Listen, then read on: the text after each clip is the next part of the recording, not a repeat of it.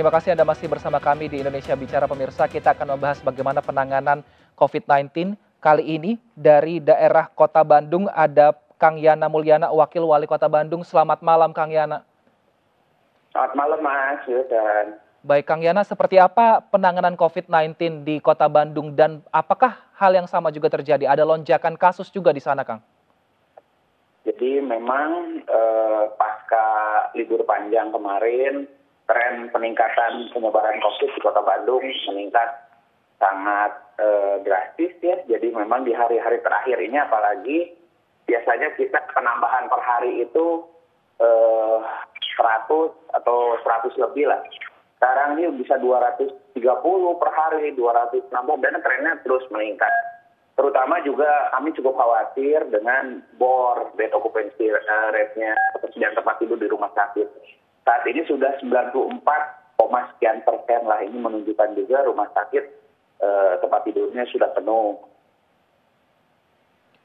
Uh, Baik, jika kemudian jika okupansi ya, ya. dari rumah sakit ini sudah mulai penuh, langkah apa yang dilakukan oleh Wali Kota Bogor agar, maksud kami, Wali Kota Bandung agar bisa tetap menampung pasien COVID-19? Jadi memang penambahan e, tempat tidur juga kami upayakan terus, Mas. Jadi di awal e, Juni itu kita sekitar 1.400 tempat tidur. Saat ini kita sudah penambahan terus hampir di angka 2.000 tempat tidur. Jadi memang kita terus siapkan lah kita minta teman-teman rumah sakit ada 29 rumah sakit rujukan di kota Bandung itu kita e, minta mengkonversi tempat tidur e, umum menjadi tempat tidur untuk pelayanan COVID. Nah ini sudah di angka hampir 2.000. E, kami terus minta teman-teman rumah sakit e, menambah terus. Alhamdulillah respon sih baik. Harapannya sih tidak digunakan. Tapi memang kalau lihat tren tadi angka-angka penambahannya e, sangat Eh, drastis peningkatannya. Jadi upaya-upaya kami tentunya eh, kami melakukan pengetatan di berbagai eh, sektor. Jadi relaksasi ekonomi yang sudah pernah kami berikan itu juga kami batasi gitu ya. Baik Kang Yana, selain rumah sakit, adakah fasilitas lain mungkin juga dipersiapkan untuk pasien COVID-19 di Bandung, Kang, jika nantinya ada lonjakan kembali?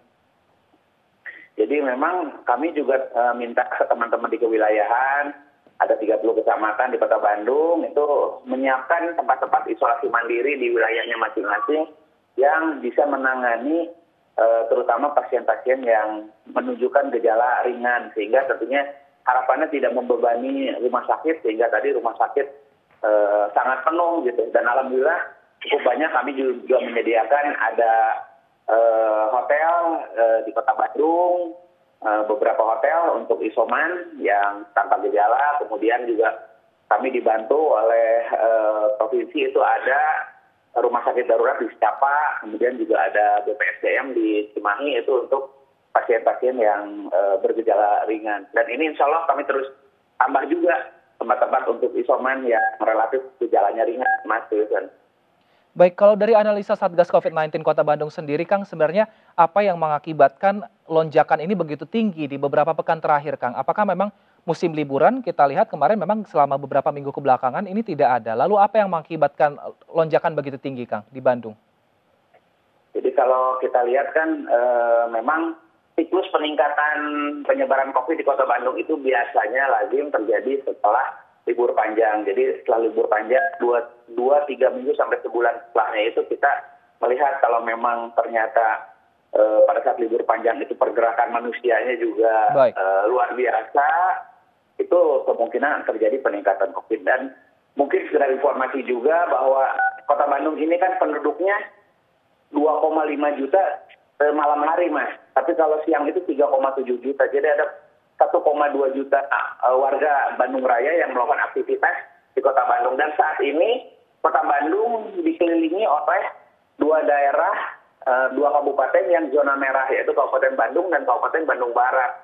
Jadi Baik. memang kami juga akhirnya melakukan pengetatan pengetatan di berbagai sektor seperti kami menutup semua tempat hiburan, kami menutup semua uh, tempat wisata, kami uh, minta semua resto, kafe itu hanya melayani take away, tidak melayani dine-in, dan itu juga hanya sampai jam 19. Semua toko mall juga tutup jam 19, kemudian kami juga e, melarang pesta pernikahan hanya memperbolehkan akad nikah dengan maksimal 50 orang. Baik. Cukup banyak hal-hal yang kami lakukan untuk mudah-mudahan tadi bisa e, mengurangi peningkatan penyebaran COVID-19 di Kota Bandung, Mas. Baik, Kang Yana dan juga pemirsa sudah bergabung juga bersama kita ada Wakil Gubernur DKI Jakarta, ada Bang Ahmad Riza Patria. Selamat malam, Bang Riza. Selamat malam. Baik, Bang Riza, tadi sejumlah aturan juga sudah dilakukan atau sudah disampaikan oleh Kang Yana, di mana pusat perbelanjaan tutup pukul 19 waktu Indonesia Barat, juga menutup beberapa tempat wisata. Bagaimana dengan di Jakarta? Karena angka untuk kenaikan uh, lonjakan pasien COVID-19 di Jakarta juga cukup fantastis. Apa yang dilakukan untuk mengurangi uh, angka pasien COVID-19, Bang Riza? Jadi yang pertama kami sampaikan memang Jakarta memasuki peningkatan yang signifikan. Ya. Berdasarkan data tanggal 20 Juni, kasusnya mencatat 5.582 pada tanggal 20. Ini angka tertinggi sejak COVID 1 Maret 2020. Hingga saat ini ada 32.191 kasus aktif COVID di DKI Jakarta. Jadi ini yang paling tinggi yang di Jakarta.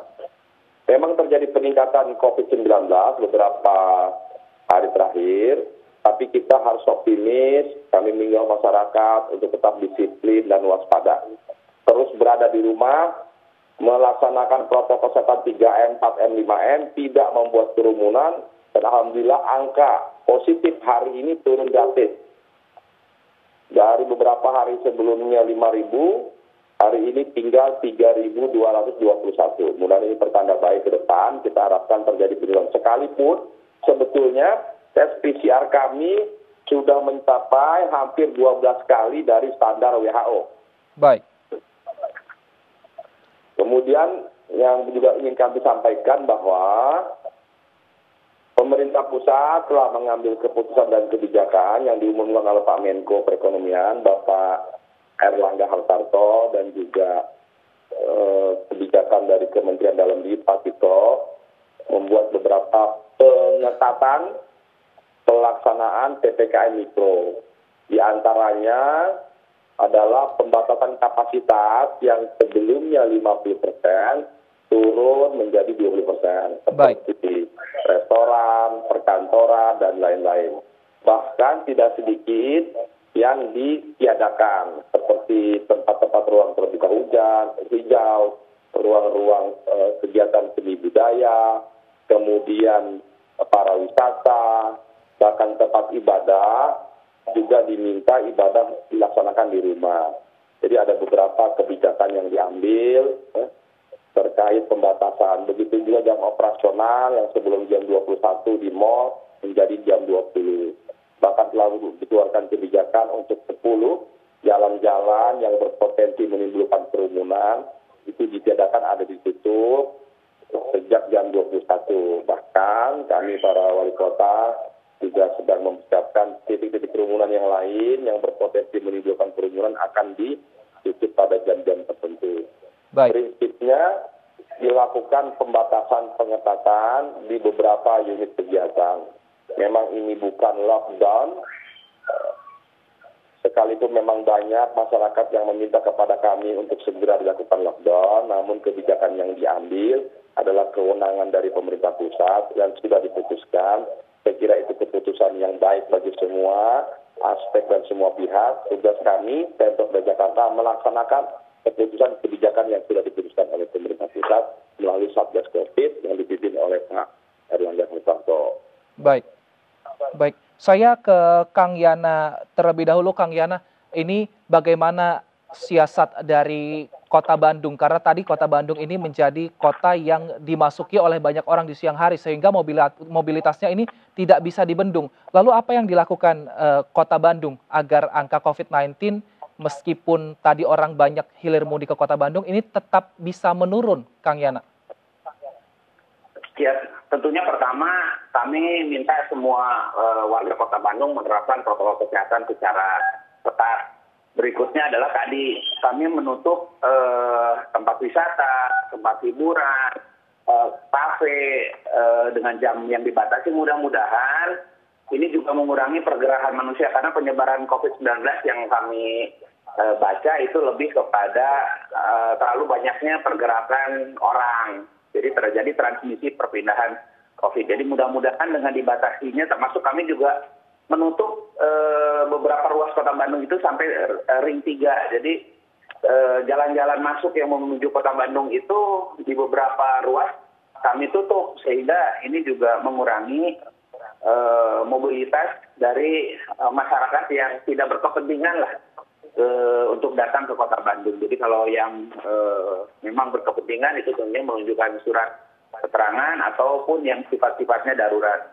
Dan insya Allah dengan upaya ini kita bisa menekan penyebaran uh, COVID-19 di kota Bandung, uh, Mas Wilson.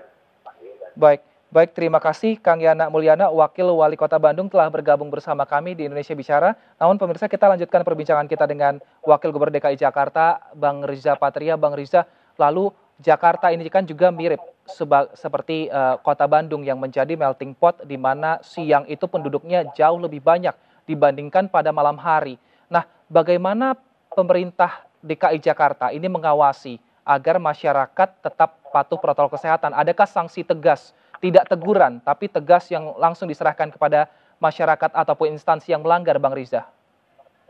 Ya tentu saja kebijakan yang diambil selalu diikuti dengan reward dan punishment. Jadi ada penghargaan dan ada sanksi.